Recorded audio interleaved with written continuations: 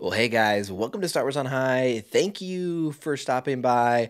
I am back, and I have been very, very busy recently, really unable to do as much YouTube these days. Jimmy's done a great job keeping you guys with some content, but overnight, different time zone issues here. They just dropped the trailer for Ahsoka, as well as a ton of fantastic, very exciting news about movies and future projects.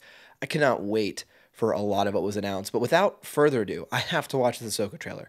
I have yet to see it. I am I am how can I live knowing there's an Ahsoka trailer out there? I have yet to see. So I'm gonna react to it here. Let me know what you guys think down below. Make sure you like and subscribe. Stay tuned in as Jimmy brings you more news updates. Uh let's get into it. All right, let's get rolling in three, two, one. Something's coming. Something dark. Love it, love it. I sense it. Get goosies. This is a new beginning. Okay, Sabine.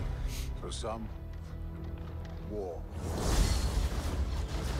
Oh my gosh, we got Hera. Chopper. Power. Is that orange or red? Oh my gosh. Rebels come to life. It's been a while. Things have changed. I started Oh my gosh. About Thrawn's return. As heir to the Empire. Oh man, there you go. Wow, that looks fantastic. We have to prepare for the worst. Wow, it looks awesome. The Jedi fell a long time ago.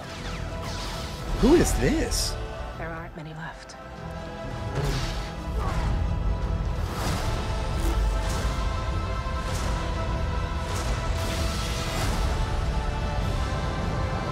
Oh my gosh. Perhaps it is time to begin again. Oh my good dude, I am totally like hyped for this. Holy crap. Woo, August, okay. Oh my gosh. Yeah. Oh my gosh, yes. That looks just absolutely fantastic. I'm talking the visuals, the tone, the music. It is everything I was hoping to see. We have so much going on here that is really surprising me. Several, uh, what looks like Sith, uh, dark side users, although their blades look very orange. I don't know if that's just the lighting on my screen. So I don't know if we got something interesting here, maybe some sort of cult, new following.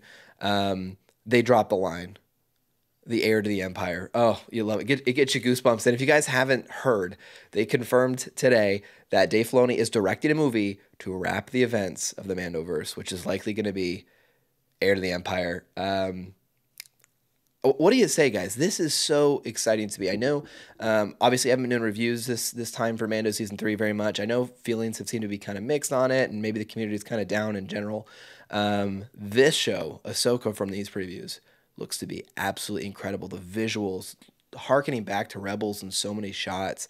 Um, this looks incredible. This looks exactly what I want, and I hope uh, it delivers because from this preview, um, this by far looks like the most interesting Star Wars show we have yet to get. Uh, and Andor, I think, was phenomenal, and, and again, some seasons of Mando have been really great as well. So, what do you guys think? Let me know down below huge Star Wars news. The three movies they announced today absolutely blew my mind. Not at all what I was expecting, I think, in great ways. Whew, good to see you again, guys. Talk to you again very soon.